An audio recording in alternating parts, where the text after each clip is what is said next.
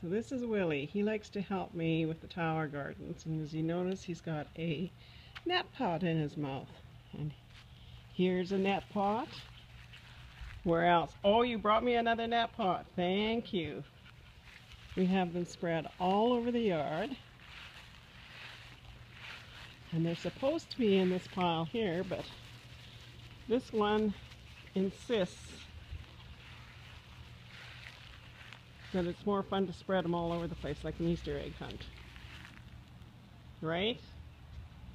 You're such a brat. Willy, smile for the camera. Hey, bring that back.